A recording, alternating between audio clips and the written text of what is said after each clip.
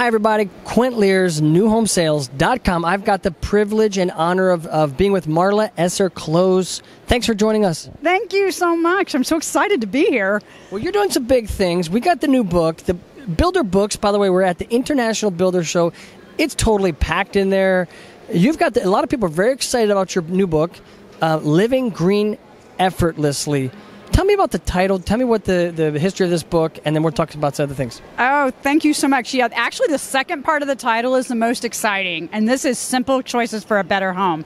So, this is all about the really straightforward, common sense things you can do in your home to implement green and sustainable practices that you probably didn't even think about.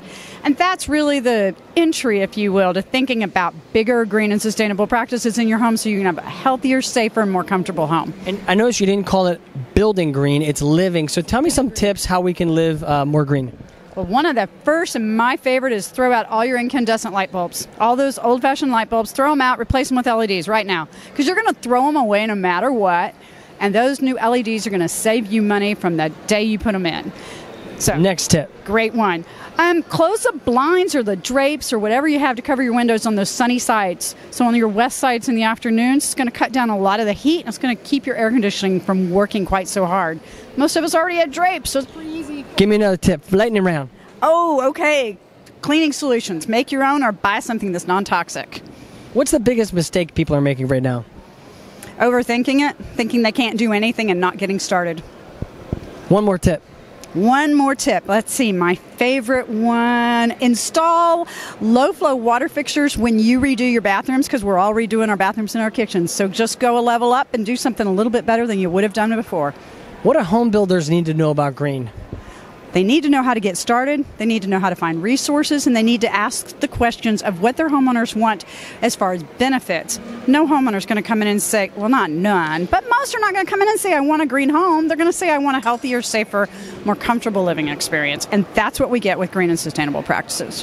What are the different types of green out there? Because I know there's forest green, greenback green, talk of clean green. Yeah you are so right. And there's deep green, light green, you name it. There's all kinds of ways to be green. And then you start going with natural, recycled, organic, no, you know, no VOC, low toxic, and all these terms. And that's really where we lose the homeowner and the home buyer very quickly as we get deep in the middle of the acronyms and all the features.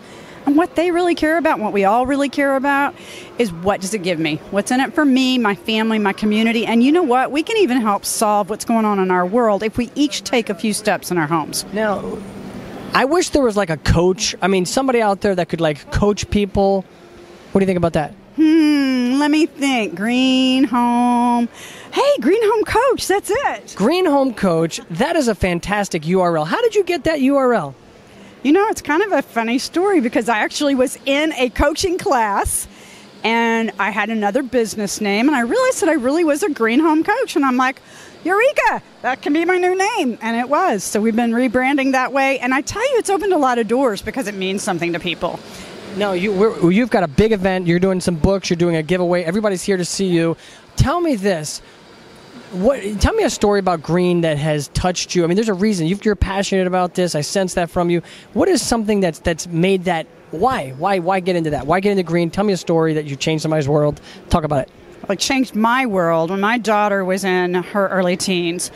We were on a cruise, on a vacation, and she broke out in this bright red rash everywhere. And every mother, I mean, sorry, but we're mama bears, you know, and if our babies are hurting, we're hurting. So we came home from the cruise, we got her treated, you know, the doc took care of all that. But then I started digging in. I'm like, what happened?